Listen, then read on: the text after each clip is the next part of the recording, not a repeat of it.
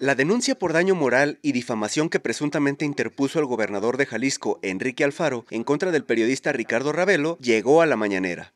Y ahora, el gobierno federal dará asistencia al reportero que publicó un reportaje en el que, según sus fuentes, el mandatario estatal estaría ligado con el crimen organizado. El presidente de México, Andrés Manuel López Obrador, aseguró que pedirá al subsecretario de Derechos Humanos, Alejandro Encinas, que contacte al periodista para darle asistencia. Sin embargo, adelantó que eso no significa que de facto se vaya a abrir una investigación por amenazas en contra de Enrique Alfaro.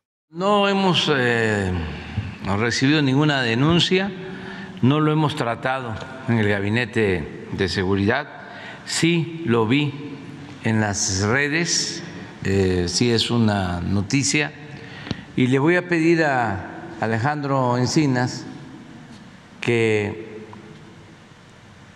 establezca comunicación con el periodista.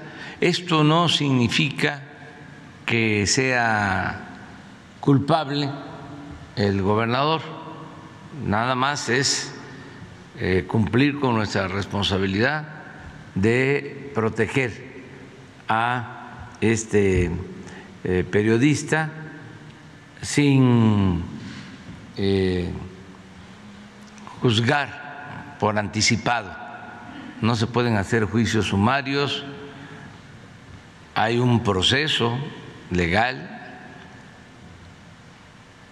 que debe de seguirse, tiene que haber denuncias, esto mismo que em, expresó supuestamente el gobernador que va a hacer la denuncia, este es un camino y también el periodista tiene este, el derecho de hacerlo.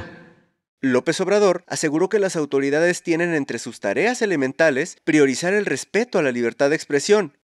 También tenemos que garantizar el derecho a la libre manifestación de las ideas, el derecho que tienen ustedes a ejercer la libertad de expresión la libertad de prensa, son derechos conquistados mm, desde hace siglos por el periodismo y eh, deben hacerse valer. Este lunes, el gobernador de Jalisco afirmó que ya hay una denuncia en contra del periodista, quien aseguró tener acceso a un expediente en el que un testigo protegido, radicado actualmente en Estados Unidos, acusa a Enrique Alfaro de estar involucrado en una red ilegal en la que también participarían jueces, magistrados e incluso familiares. Esto es lo que dijo Enrique Alfaro el lunes. Están presentadas. Es que la declaración se hizo en Estados Unidos, por eso pregunto, ¿se hizo aquí o se hizo en Estados Unidos? Estamos eh, siguiendo la ruta legal y lo único que puedo decirles es no voy a permitir que nadie haga señalamientos tan irresponsables como ese. No se vale. ¿Busca alguna comunicación con alguna autoridad de Estados Unidos? Por favor. Esa historia la han querido inventar un montón de veces.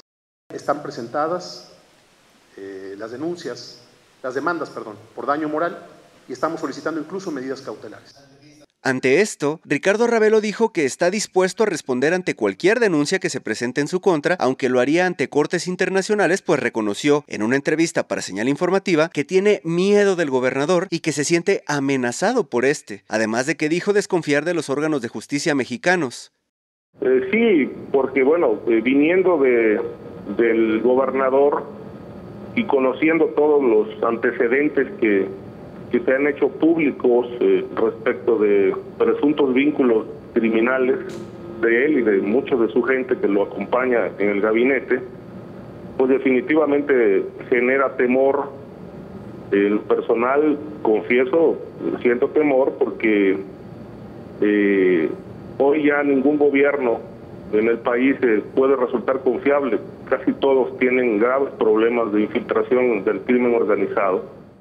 Hoy el gobernador Enrique Alfaro reaccionó, aseguró que él siempre respetará la libertad de expresión, pero dado que lo que se ha publicado sobre él son mentiras, tiene el derecho de defenderse como cualquier ciudadano. Este miércoles se realizó una consulta en los juzgados para verificar si existe o no una demanda contra el periodista Ricardo Ravelo. La realidad es que no hay un solo expediente en ninguno de los juzgados estatales, federales y salas del país. Para señal informativa, Isaac de Loza.